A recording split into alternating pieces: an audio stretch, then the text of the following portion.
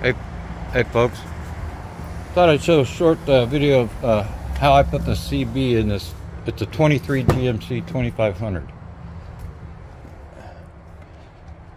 Uh, under the front seat, put this bracket here.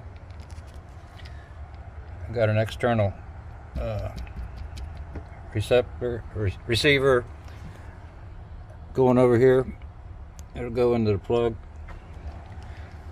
These brackets come off this bolt right here. There's plenty of bolt. That bolt's about two inches long.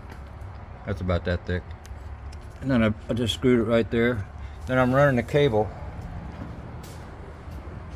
I thought I had to take the back seat up, but I didn't. Behind this cab, there is a vent. It's got little flaps on it, so there's an opening. You don't have to drill any holes.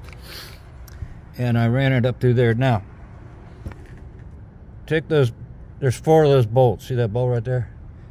That way you can pull the seat forward. But first you got to take these out, the headrests out. And of course, everybody, you know, there's videos on this. You push this in and pull them out. But see that little slot right there? Right there. This thing's in there like that. So what you do, I took a little screwdriver, instead of, you know, prying it out, you take the screwdriver and see how the screwdriver is going in that little slot right there?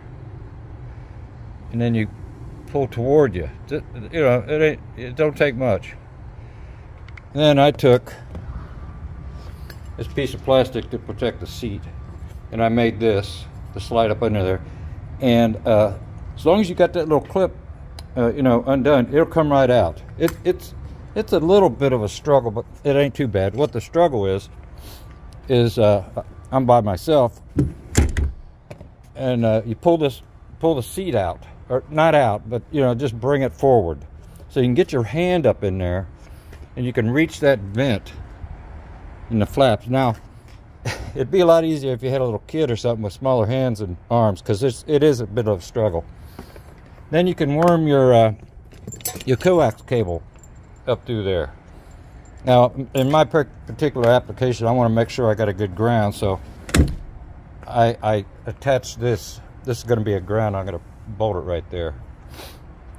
I haven't figured out how I'm going to mount this. I think I'm going to take a piece of angle iron and uh, put my mount on that somehow. That's why I need a ground because uh, this bed liner here won't make a good ground. But anyway, uh, I hope that helps somebody. If, uh, you know, at first I thought I had to take this whole back of the back seat out.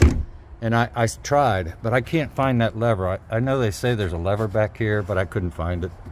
So I tried to do it, you know, the shortcuts. And it actually did work.